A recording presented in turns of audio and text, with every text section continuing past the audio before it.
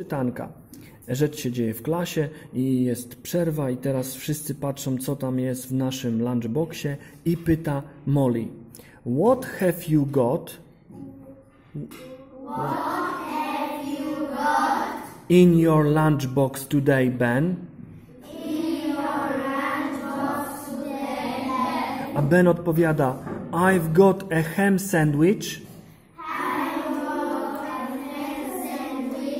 and some biscuits. And some biscuits. A to, have you got any salad? Have you got any salad? No, I haven't. No, I haven't. But I've got a yogurt. But I've got a yogurt. Hmm. thank you.